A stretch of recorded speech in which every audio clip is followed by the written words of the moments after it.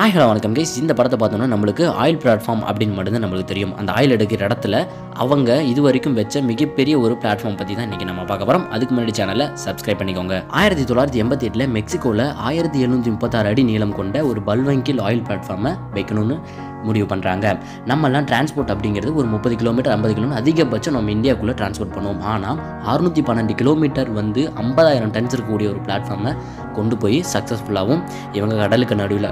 கிட்டத்தட்ட நானூற்றி தொண்ணூற்றி ரெண்டு மீட்டர் ஐம்பது மாடி கட்டிடம் அளவுக்கு கடலுக்கு நடுவில் இந்த பிளாட்ஃபார்மையும் ஃபிட் பண்ணிடுறாங்க. இது வரைக்கும் அறுநூற்றி பன்னெண்டு கிலோமீட்டர் ஐம்பதாயிரம் டன்ஸை ட்ராவல் பண்ண ஒரு டிரான்ஸ்போர்ட் இவங்க தான். இவங்களுக்கு ஒரு கின்னஸ் ரெக்கார்டும் கொடுத்துருக்காங்க. இந்த ஆயில் பிளாட்ஃபார்மோட பேர் பல்வங்கில் ஆயில் பிளாட்ஃபார்ம்.